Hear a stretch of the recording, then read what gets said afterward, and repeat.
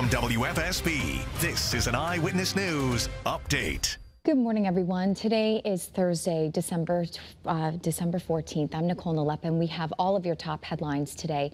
It marks 11 years on this day since the mass shooting at Sandy Hook Elementary School in Newtown. The Sandy Hook Promise, which is a nonprofit organization, continues to work for gun violence prevention programs and policymaking.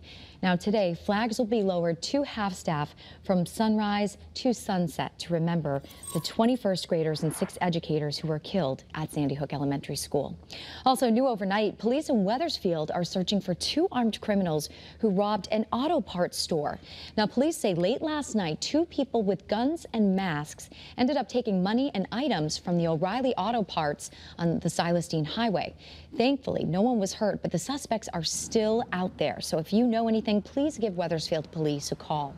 And a fire has destroyed a home in Middletown just before the holidays. Dozens of firefighters ended up battling the blaze. This was uh, in Middletown on Stantack Road yesterday.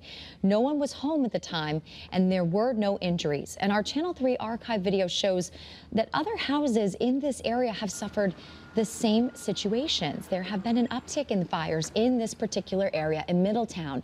There was a fire in September, one in 2018 and another in 2015.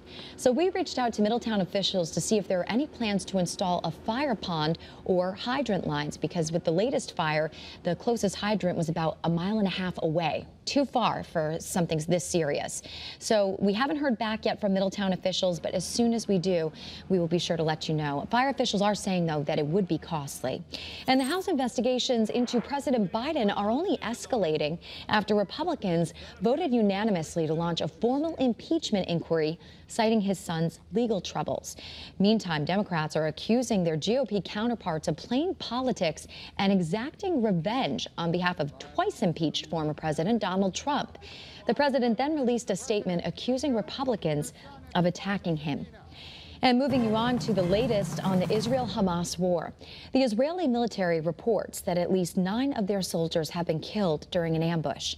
And this marks one of the deadliest single attacks by Palestinian militants since the ground invasion began now, Prime Minister Benjamin Netanyahu has vowed to press ahead with Israel's Gaza offensive, rejecting international pressure for a ceasefire. And a new U.S. intelligence assessment finds nearly half of the Israeli ammunitions dropped on Gaza are unguided dumb bombs, they're called. These weapons are typically less precise and they can pose an even greater threat to civilians. Now to New Haven, where people are coming together tonight to call for peace. Organizers want a ceasefire in Gaza, and tonight they'll all gather on the New Haven Green, both Palestinians and Jewish people coming together to sing songs, pray, and hold a candle lighting. The two groups will also gather to show peace in a united front, and they are calling for the pain and the suffering to end. So this event starts again on the New Haven Green at 5 o'clock. This morning, police in Bridgeport are searching for a person of interest after a woman's body was found in a shopping cart. Now, the body of 37-year-old Rakeda Baker was found right off of Stratford Avenue in a parking lot back on November 3rd. And detectives say that surveillance video shows what appears to be a man pushing her in the shopping cart. They believe that this man was walking on Fifth Street at the time, and this video was taken about three days before the woman's body was found. Police are asking the public if they know who this man may be, if they have any information, please make sure to give them a call. But they say that he may live on the east end of Bridgeport. And this morning, there's justice for the family of a teen who was shot and killed in New Haven. Keon Matheny was sentenced to 33 years in prison yesterday for killing John Tubok Saquil last year. Prosecutors say that he shot the 17-year-old after an argument on Poplar Street.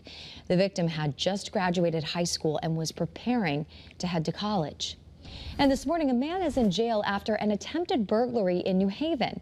Now, our Pinpoint News Tracker shows you exactly where this happened. It was right on Grand Avenue, right in between uh, Blatchley and also James Streets. Now, police were called to the area and they found and arrested a suspect at the time. He is now being charged with criminal attempt to commit third degree burglary and criminal mischief in the second degree. And we have some more video of yet another violent street takeover. So this one happened early Saturday morning in Derby on Pershing Drive. You can see in this video, people are hurling fireworks at police officers and bystanders. Look at that. Thankfully, no one was seriously hurt, but this is one of six street takeovers that happened last weekend around the state. And police in Derby are now looking for anyone who was involved. So give them a call if you have any information. 705. Hi, everybody. Good morning. First alert live radar scans the state dry. We have issued a first alert for Monday, and both models are in agreement that it's going to rain here, and we could pick up two to plus inches of rain. Two plus inches of rain possible with gusty winds in excess of 40 miles an hour. Nuisance flooding, isolated power outages. This is Monday. We're at Thursday. We have to talk about the cold out there. We've got the beautiful iCam shot in Mystic this morning, looking absolutely terrific. And as we take a look at uh, the first alert temperatures, 21, 25. Typical overnight low is 25. We're there in Waterbury, Torrington, Bradley, Tolland, Willimantic. Everybody's pretty much at 25 this morning, if not a little bit cooler. Now, there is a gentle breeze out there this morning, anywhere from 4 to 10. Uh, so that makes the temperatures feel even colder. 14, 15 at Bradley and in Torrington, 18 in Waterbury. This is bundle up weather, folks.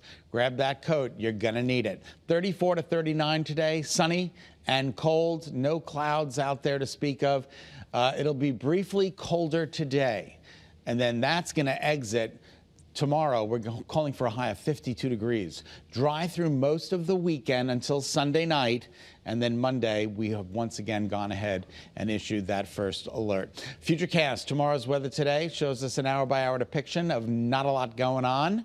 So it's going to be a beautiful day today. And then you'll notice the shift in wind out of the south and west and that's going to pump those temperatures up tomorrow into the low 50s. Hartford, gorgeous, 28 degrees though, a little chilly. Uh, New Haven, you've got the, the warmest number on the map at 30, and here comes that sun.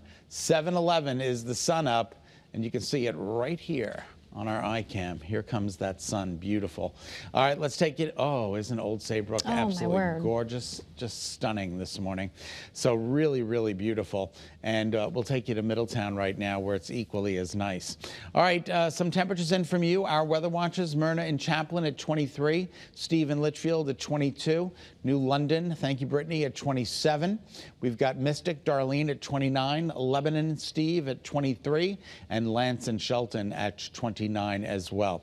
Here comes the sun, but here comes the cold. Temperatures only marching into the upper 30s today. More of the same for the immediate shoreline, maybe a degree or two warmer, possibly 39, but I don't see any 40s today. Typical daytime high for this time of year is 41. Forecasted highs today, 35 in Torrington, 36 in Waterbury, 39 in New Haven. A little bit better along the shoreline than in inland Connecticut, but not by much. All right, your overnight lows tonight dropping into the low to mid 20s, very similar to this morning, mostly clear and cold. And then here comes your seven day. Sunshine, sunshine and better temperatures tomorrow. Look at that, 52 degrees. 49 on Saturday. Rain at night on Sunday. A first alert for Monday. Tuesday, showers in the morning, giving way to partial clearing. And then Wednesday looks good with a high of 39 degrees. Here come your shoreline highs. Look at Monday, 58 and 57. That is a rainy event, no snow. All right, Nicole, we'll send it back to you. Matt a snow event, oh, right? All right, well, we'll take the sunshine. Enjoy it. Thanks so much for tuning into Eyewitness News. Remember, you can get news and weather updates anytime on the Channel 3 app. We're going to leave you with this view from our Rocky Hill iCam, looking straight towards the skyline of Hartford. Have a great day, everyone. Be healthy. Stay positive.